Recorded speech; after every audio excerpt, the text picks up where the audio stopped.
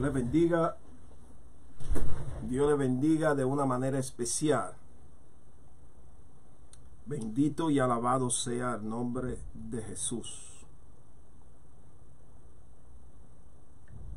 Quiero bendecir de una manera especial a todas, todas las personas que, como siempre, siguen este ministerio y que hoy no será la excepción. Vamos a estar como siempre trayendo una palabra, una enseñanza, específicamente en este tiempo de, de tribulación, en este tiempo de, de desafío, en este tiempo en el cual hay una,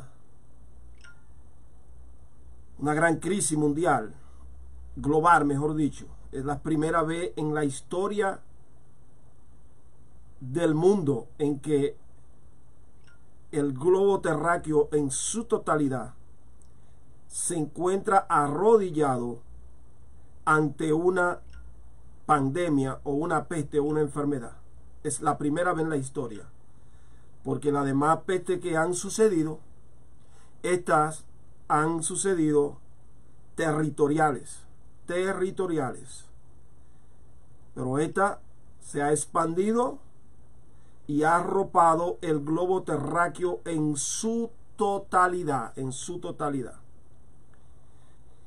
Es la razón por la cual uh, usted se preguntará por qué tantas personas están en las redes sociales eh, predicando y hablando de tantos temas y de temas tan delicados. Bueno, quiero que entienda que la nación, el mundo entero se encuentra en cuarentena. El mundo entero se encuentra en cuarentena.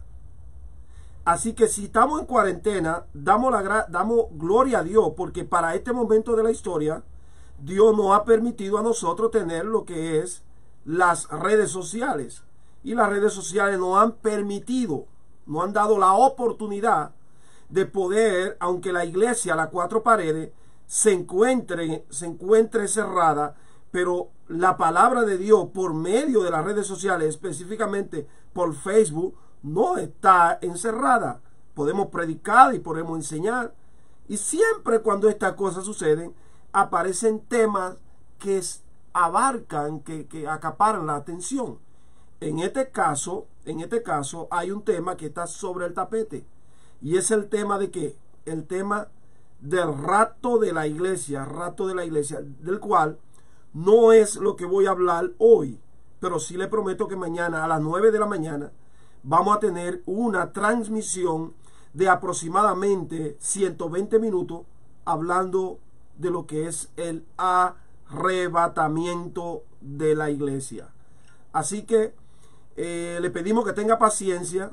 Yo sé que muchos de mis compañeros ministros, a favor y en contra, han hecho terribles aportaciones, grandes aportaciones sobre el tema en particular y nosotros como maestros, nosotros responsables de esta, de, de, de, de, la educación de esta generación, nosotros también queremos hacer una aportación, queremos hacer una aportación y la estaremos presentando eh, mañana a las 9 de la mañana y retransmitiendo a las 3 y a las 7 de la noche. Así que usted debe estar preparado para eso.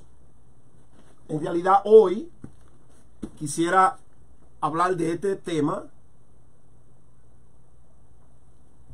porque dentro de la presentación y dentro de la temática de lo que es la defensa en contra y a favor del arrebatamiento de la iglesia, he observado a varios ministros, varios ministros a favor y en contra, que usan este pasaje como soporte para su doctrina, para soporte, para como un soporte para probar su teoría. Quiero decirle como introducción que usted puede tener una interpretación diferente a la mía, igual viceversa, yo la puedo tener diferente a la de usted.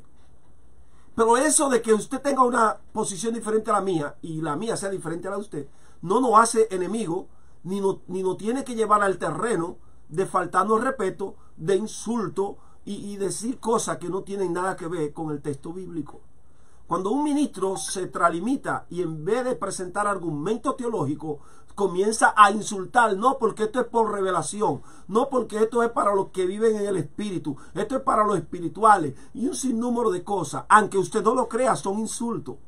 Son insultos de una forma despectiva, pero el que está del otro lado, el que está del otro lado sabe que fue que a usted se le terminaron los argumentos.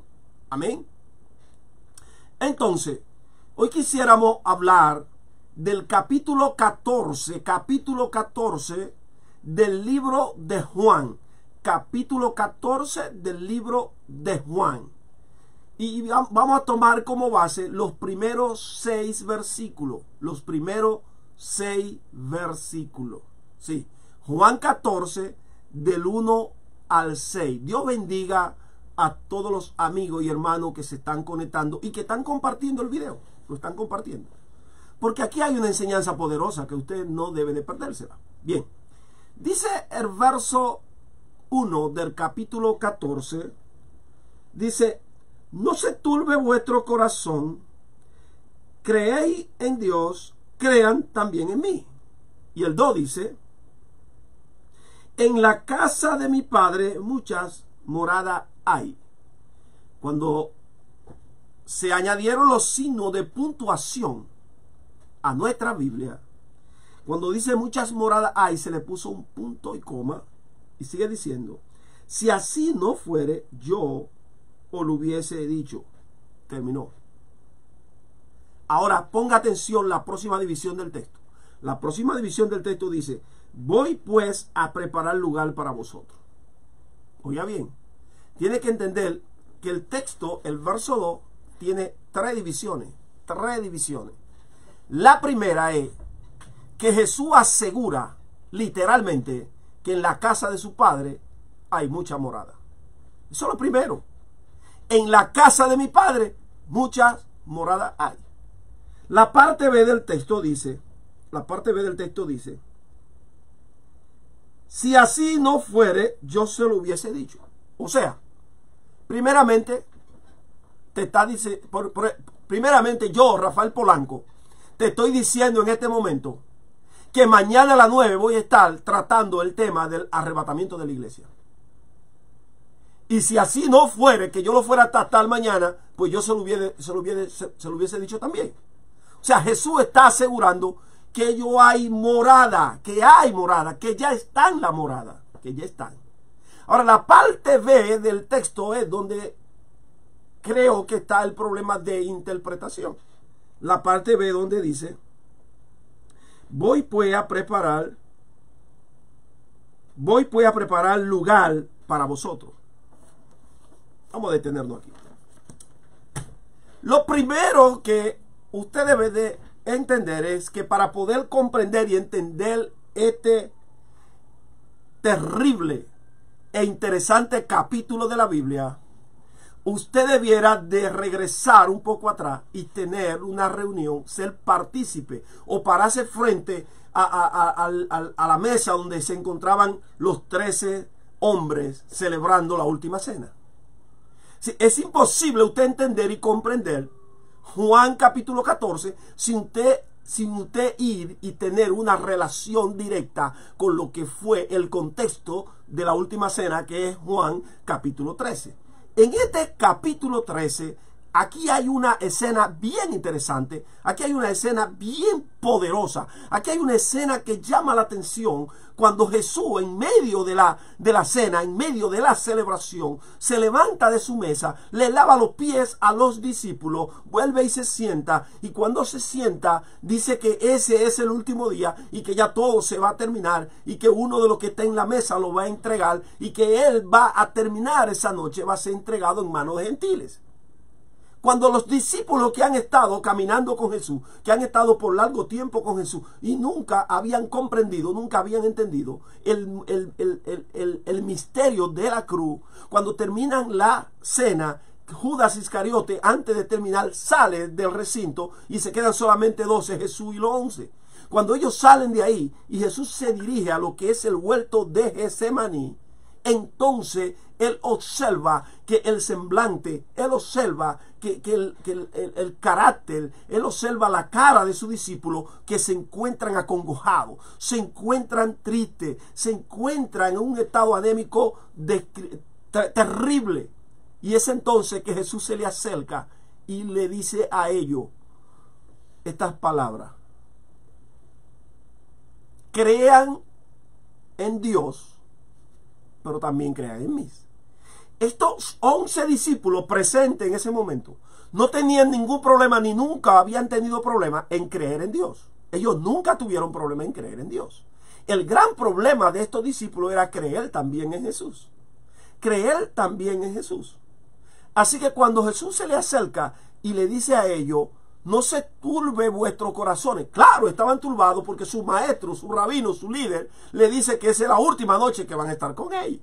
Le dice que esa es la última noche que todo va a terminar. ¿Quién no estuviera turbado? Si a usted le dicen una noticia que, este, que mañana, en la mañana, su madre, su padre ya no va a estar más con usted. Obligado, usted debe estar turbado, usted debe estar acongojado, debe estar triste. Y bajo ese escenario, en esa condición, es entonces cuando el maestro le dice a ellos, crean en Dios, pero también crean en mí. Crean en Dios, pero también crean en mí. Ahora, cuando él le dice que crean en Dios y también crean en él, él le asegura algo y le dice, en la casa de mi padre muchas moradas hay. Si así no fuere, oiga bien, tiene que ir cortando el texto. En la casa de mi padre muchas moradas hay. Si así no fuere, usted debe de estar... O sea, es una cuestión de lectura. La primera parte es una afirmación de algo que es seguro y que es real. La segunda parte es lo que se llama un supuesto negado, donde Jesús dice, si así no fuere, yo se lo hubiese dicho. O sea, si no existieran las moradas, pues yo también se lo había dicho. Ahora Jesús agrega, agrega y dice, Voy pues a preparar lugar para vosotros. Hay algunos ministros que respeto mucho, respeto mucho, respeto mucho su persona, aunque eh, no estoy 100% de acuerdo en su interpretación, pero jamás iré contra la persona de los ministros o del ministro. Mi punto es la interpretación. No tiene nada que ver. Las personas que lo han interpretado son mis amigos, mis conocidos y merecen mi respeto.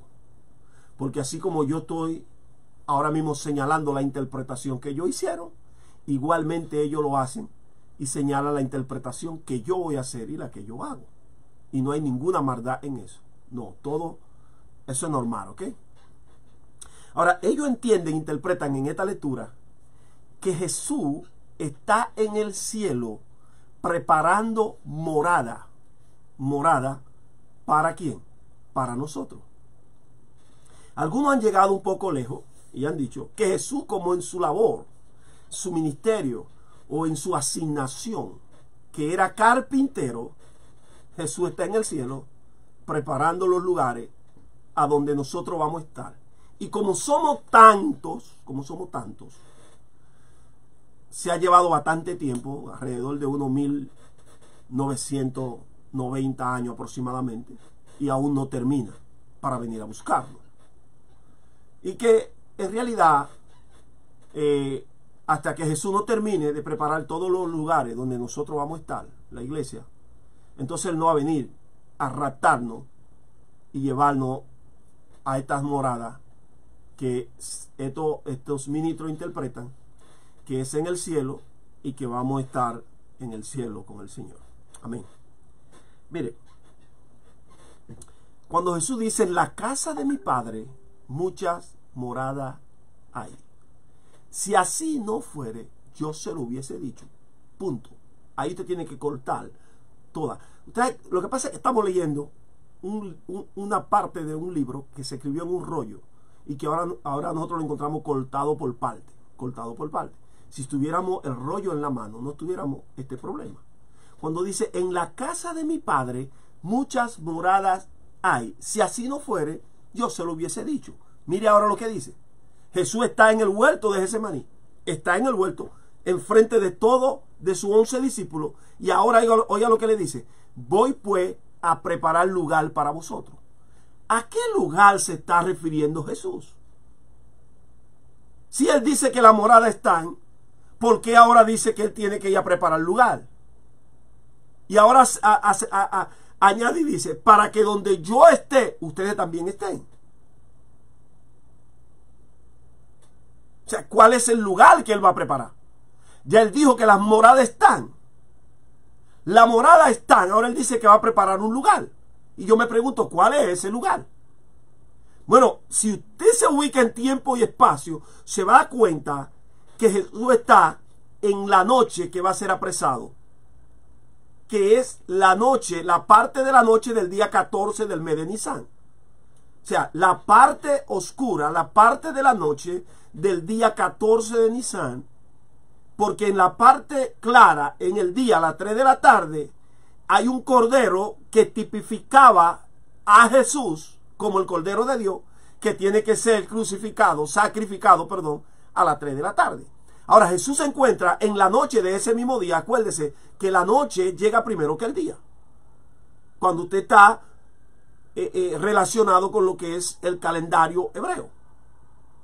Ahora, siendo que Jesús está en la noche de ese día, en el huerto de ese maní, donde va a venir Judas Iscariote, el traidor, con una turba a tomarlo preso. Entonces Jesús le dice a ellos que él va a preparar lugar. Ahora, muchos intérpretes han interpretado que cuando Jesús dice que va a preparar lugares, que Jesús va para el cielo, ¿a qué? A condicionar las moradas y preparar las moradas para que cuando nosotros seamos añadidos al cuerpo y nos reunamos con Él, después en el arrebatamiento o en la resurrección, entonces ya los lugares ya estén acondicionados y listos. Eso es lo que muchos han interpretado. Ahora, de la única manera que nosotros podemos estar donde Jesús esté es si Jesús llega al lugar de la cruz. No hay otra forma de nosotros unirnos a Él. De la única manera que nosotros podemos unirnos a Jesús es cuando Jesús vaya a la cruz. Y Jesús le dice, voy pues a preparar lugar Ahora, ese lugar que Jesús va a preparar no tiene nada que ver con el cielo, no tiene nada que ver con morada, no tiene nada que ver con, con mansiones ni nada. Ese lugar tiene que ver con el martirio y la crucificación y la cruz que Jesús va a morir por los pecados de todos nosotros. Y va a poner, va a romper la barrera, va a romper el tiempo, va a romper toda maldición que había. Y a partir de ese momento, a partir de ese momento, el Jesús que era el que el unigénito del Padre, el único hijo del Padre, cuando vaya a la cruz, cuando muera en la cruz, va a preparar el lugar para que él, en vez de ser el unigénito, se convierta en el primogénito y convirtiéndose en el primogénito, atrae consigo mismo a todos los hermanos a quien nosotros los que aceptamos el plan de redención y en ese lugar donde Jesús preparó, el lugar que Jesús preparó fue la cruz para que nosotros podamos estar entonces sentados en los lugares celestes juntamente con Él. El lugar fue la cruz. El lugar no tiene nada que ver con el cielo, aunque está relacionado, no tiene nada que ver con el cielo. Voy pues a preparar lugar para que donde yo esté, vosotros ustedes también estén. Entonces el apóstol Pablo dice, y Pedro dice, que nosotros estamos sentados en lugares celestiales. Jesús no tiene nada que ver con carpintería en el cielo, ni con evanitería, ni tiene que ver nada con herrería. Jesús no está construyendo nada en el cielo. Lo que Jesús tenía que hacer, lo construyó, lo hizo en la cruz del Calvario. En la cruz del Calvario preparó Jesús el lugar en la cruz del Calvario. Porque él dijo en la parte A del verso 2 que la morada ya están. Lo único que hay un puente entre las moradas y el hombre. Y ese puente se llamaba Jesús. Y estaba relacionado con la muerte de Jesús. El puente, la separación, la separación que se, que se rompió en el huerto del Edén. Esa separación que fue rota en el huerto del Edén, Jesús va ahora a la cruz a que a traer una reconciliación, reconciliación, a traer el lugar de la que, de la unión de nuevo entre quién, entre el creador y la criatura. Pero Jesús necesita ir a la cruz. Hasta que Jesús no vaya a la cruz, este puente sigue siendo roto. No hay un puente que lo una. La cruz es lo que une el puente. La cruz es el lugar y las moradas son las Jerusalén celestial que aparecen en el capítulo 19 del libro de Apocalipsis, donde dice que viene que descendiendo, alabado sea el nombre de Jesús, aparece en el capítulo 21 también, que viene descendiendo y dice que trae galardones. ¿Galardones para quién? ¿Para quién son los galardones? ¿Para quién son los galardones? Jesús no está en el cielo preparando morada. Las moradas fueron preparadas desde antes de la fundación del mundo. Sería ilógico que la Biblia se detuviera a decir hoy que está preparando morada, porque entonces sería que, que Jesús y el, y el Eterno tienen un plan B por lo que pasó en el huerto. No, no existe plan B. Ese plan siempre fue el mismo. El hombre pecó, pero no agarró a Dios de sorpresa. Las moradas siempre han estado, siempre han existido, siempre han estado ahí. Siempre han estado ahí. Y esas moradas no son para quedarse en el cielo. Esas moradas, que no es más que la Jerusalén celestial, es para ser habitada aquí en la tierra.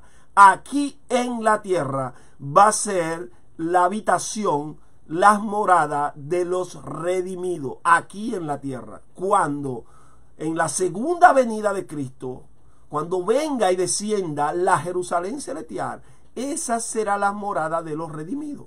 No será otro lugar, no será en otro planeta, no será en Venus, Marte, en, en ningún otro lugar. Es las moradas celestiales estarán en la Jerusalén celestial juntamente con los redimidos. Las moradas no son tocadas en el texto. Lo que se toca es el lugar. El lugar no tiene relación con las moradas. Repito esto. Las moradas son una y el lugar es otro. Morada, lugar. Preparar lugar. Preparar lugar es ir a la cruz. Ir a la cruz y morir con los brazos extendidos. Aceptando a griego, a judío, a hebreo, a, a todos los humanos del mundo que vengan y acepten el plan de salvación, se agarren de Jesús, llegaron al lugar. Repito, el lugar es la cruz. Todo aquel que acepta el plan de salvación y va a la cruz de Jesús, está en el lugar. Ahora, el que llega al lugar tiene acceso a la morada. El que llegue al lugar, el que acepte el plan de salvación, del lugar que Jesús preparó, el lugar con su sangre, con su muerte en la cruz, entonces tiene la oportunidad de las moradas celestiales, que aunque dice celestiales es porque la Jerusalén está en el cielo, pero va a descender y va a estar en la tierra.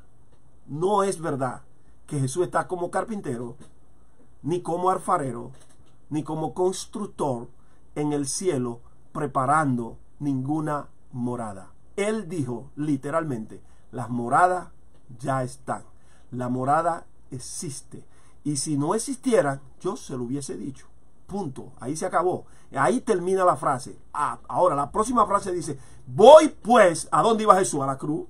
Voy pues a preparar lugar para vosotros, para que en el lugar que yo esté, también vosotros estén.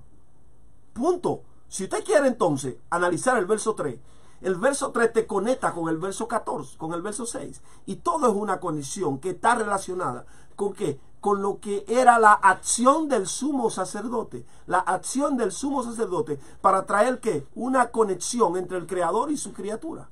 Lo que el sumo sacerdote hacía, que era el puente entre el cielo y los, y los humanos, Jesús ahora va a tomar esa posición a través de que a través de su muerte en la cruz con su sangre entonces él toma esa posición y Jesús ahora es el puente entre quién entre el creador y la criatura. Jesús no está en el cielo preparando morada para nadie. Las moradas ya fueron preparadas desde antes de la fundación del mundo.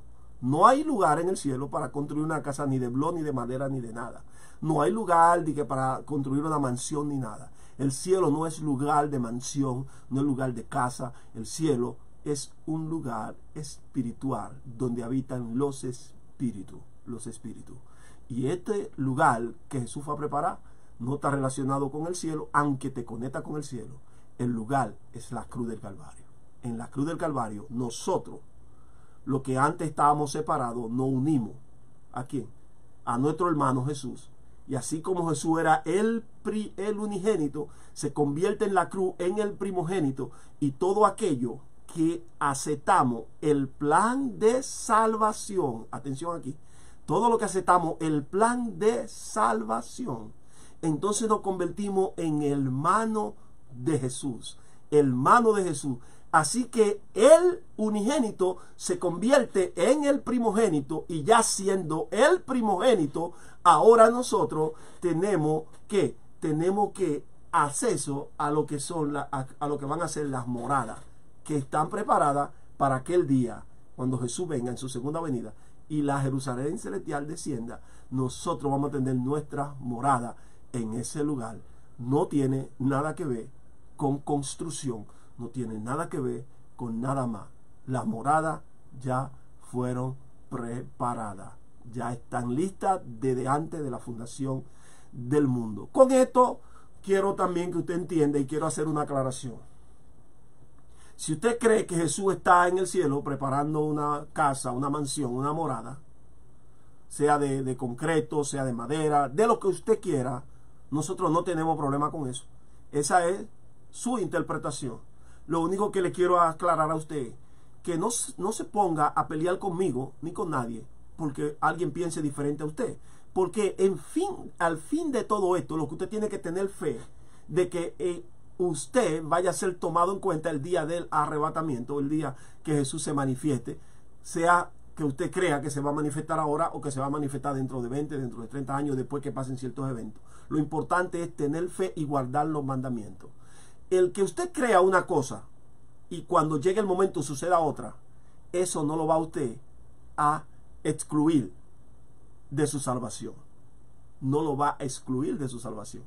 O sea, si usted cree que la iglesia va a participar de la gran tribulación y su hermano al lado cree que la iglesia no va a participar de la gran tribulación y de repente sucede lo que algunos le llaman el rato secreto, usted se va y él también. Si los dos están guardando, si los dos tienen fe y están guardando los mandamientos, los dos se van. Así que hay peleas que son innecesarias. Yo en particular no la hago. Yo presento mis argumentos y le doy la oportunidad a cualquiera que si tiene algo que argumentar que lo haga. Ahora bien, este sí es mi punto y aquí no, esto no lo negocio con nadie. Usted no puede venir a mi página a escribir yo no estoy de acuerdo. Si usted escribe en mi página yo no estoy de acuerdo y no presenta una antitesis, sea escrita o por video, automáticamente a usted yo no lo tomo en cuenta. ¿Por qué? Porque decir que no está de acuerdo es un deber, es un derecho que todos tienen. Pero usted tiene que acompañarlo de qué? Debe de acompañarlo de una razón. Porque así todo el mundo está diciendo yo no estoy de acuerdo, yo no estoy de acuerdo, yo no estoy de acuerdo. Pero tú no estás de acuerdo en qué? Presenta tus argumentos. Preséntalo. Señores, estas redes sociales están para todo. Todas las personas pueden venir a las redes sociales, no hay restricción. Y hacer un video y decir esto es lo que yo creo.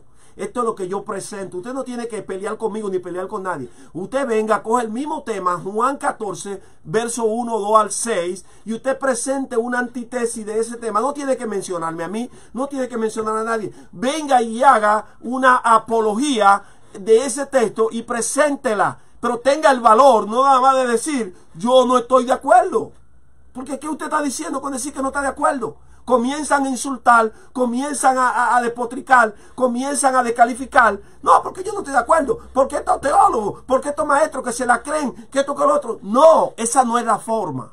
La forma como se tumba una teoría, la forma como se desmonta una teoría, la forma como se desmonta una interpretación, es presentando que una antitesis o presentando que una tesis. La antitesis es la respuesta a lo que dijo fulano. La tesis es lo que yo creo que va a pasar.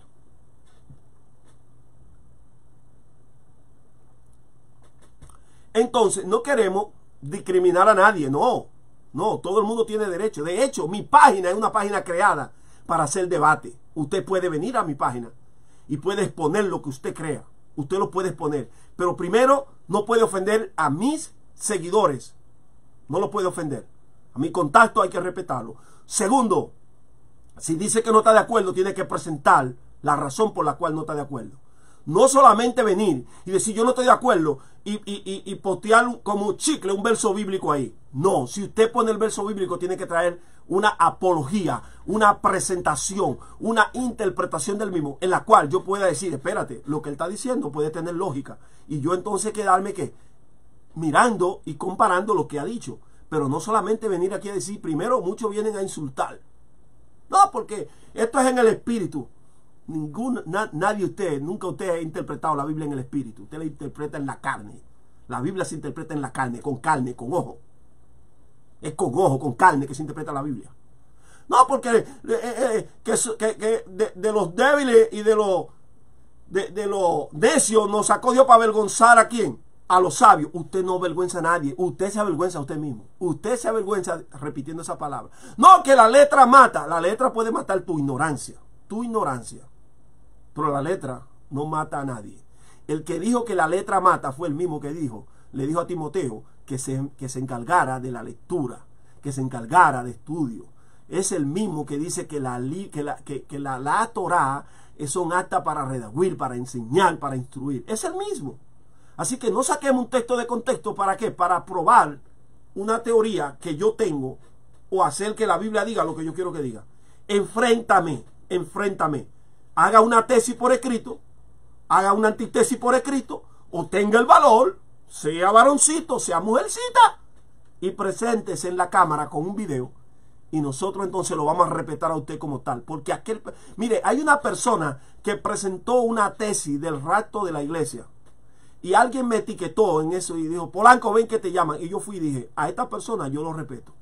¿Por qué? Porque esta persona, aunque cree diferente a lo que yo creo, esta persona se ha sentado y ha hecho qué? Ha hecho un estudio profundo de lo que él cree y lo ha presentado. Aunque yo estoy en total desacuerdo con los versos que desde mi óptica fueron sacados de contexto, pero yo tengo que respetar a esa persona. Primero, porque fue muy ético, primero, porque usó respeto, y, y tercero, porque se fajó a estudiar. Pero usted aquí venir, no, porque a mí me enseñaron esto, y yo así lo creo, y así voy a morir. Usted no tiene que, usted no tiene que decir nada en mi página. De hecho, usted está de más en esta página.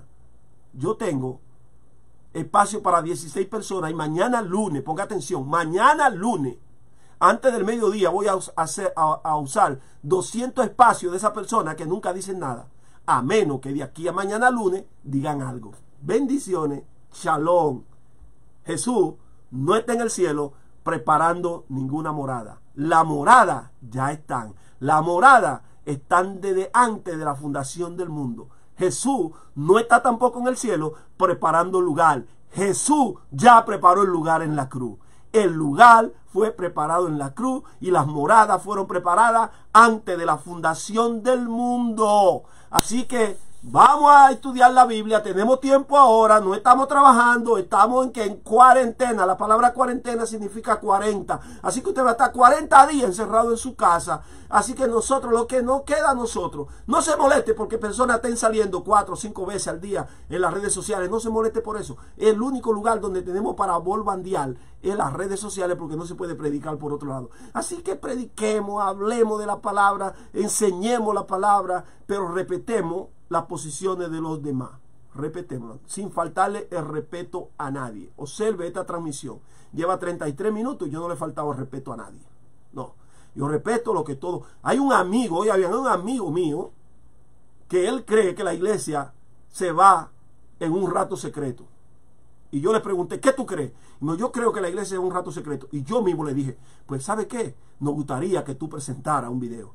Y el joven un joven estudiante, un joven brillante, brillante de verdad, se fajó y preparó un video y presentó una apología con respeto, con honra, respetó a todas las demás y, exigió que, todo, que todas las posiciones sean respetadas. Y ese muchacho presentó una, una, una, una pieza terrible. Entonces yo tengo que entender que esta persona hay que respetarla. Yo puse en mi página, en mi página, en esta página, ¿a quién? La predicación de un adventista, del gran pastor Esteban Hort. Este hombre es adventista y está en mi página. está en mi página. Así que te invito a que tú tengas el valor de combatir esta enseñanza de las moradas, pero lo haga con ética y respeto como yo lo he hecho. Bendiciones, te amo. Espérame pronto, porque mañana el fuego arderá. Shalom.